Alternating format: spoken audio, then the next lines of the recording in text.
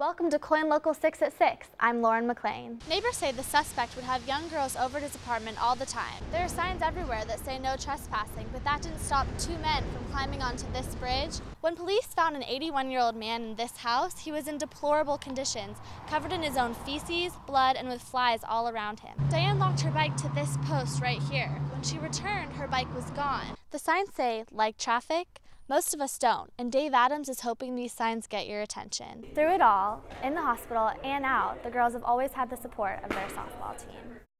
Amazingly, a pair of motorcyclists only suffered minor injuries in an accident in Clackamas County.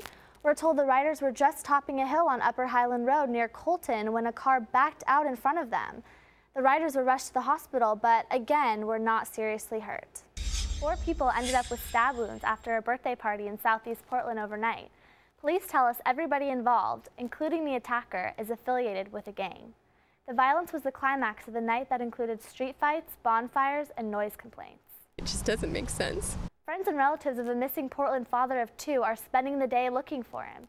42-year-old James Lund headed for the Ape Caves area of Mount St. Helens Thursday, but never returned.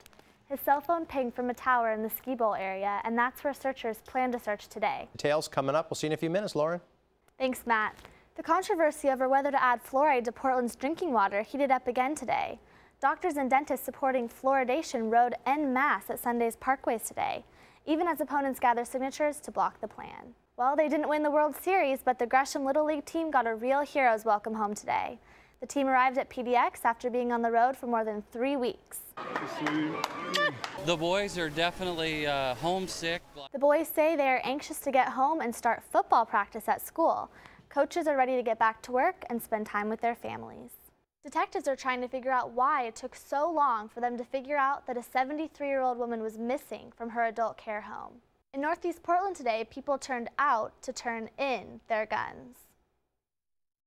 Six separate home invasion cases were reported to Eugene police sometime late last Saturday evening into Sunday morning. They all occurred near the University of Oregon campus. Five happened within just blocks of one another. In several cases, thieves didn't use force to get into the homes. In those hot summer months, it may be tempting to leave things like garage doors open to release some of that heat, but police stress that this is when your home becomes a target for thieves. UOPD says many of the items stolen were typical quick grabs that are usually high in value and relatively easy to sell. So things like laptop computers, uh, smartphones or music players, um, video game consoles, that sort of thing. These items were among those reported stolen during the string of break-ins. One of the intrusions occurred when the victims were sleeping Sunday morning. One of the residents was awoken by the intruders. About 3.30, 3.45, I felt something on my leg. And it, I had my covers on and everything, so it was kind of like a subtle something. Overton realized what was happening as soon as the intruders ran from her bedroom. She went downstairs to alert her other roommates. I saw her boyfriend sort of turned the corner and I said, they stole our stuff. And I sort of yelled at, at him and he started yelling and he said, hey, get back here.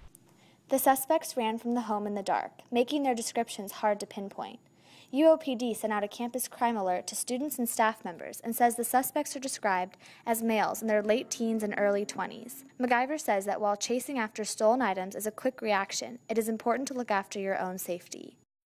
That means, you know, getting out of the, the area where the person is and retreating to uh, a secure space like a bedroom or a bathroom or any uh, room that has a lock on a door. Reporting for Oregon News, I'm Lauren McLean.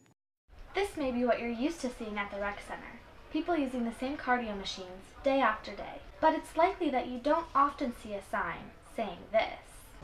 This new event at the rec takes physical exercise to new heights. Literally. On Friday, February 22nd, the Rec Center put on the Mile High Club event to celebrate National Sports and Rec Fitness Day. From 4 to 6 p.m., students could sign up and compete. In 2006, we actually came up with the Mile High Club, obviously playing off the catchy name of Mile High Club, trying to entice students as to what's that all about. The name of this event was literal. The mile referred to a mile run around the upstairs track. The high referred to climbing up the rock wall once.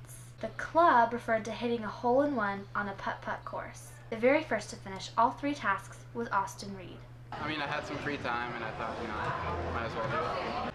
Austin's strategy was to rock climb first, assuming most students would start with running. Mike Fisher took a different approach altogether, participating in the event more than once to beat his own score. I'm just, I'm really competitive.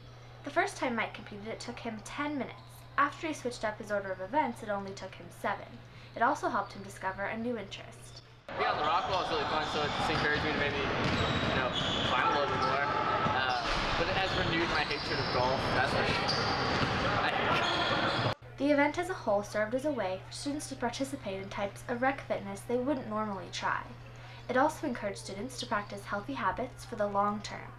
For J432 News, I'm Lauren McLean. The fall season has arrived, and most people seem to enjoy the changing leaves and colorful scenery. People around campus have been decorating and getting into the Halloween spirit as well.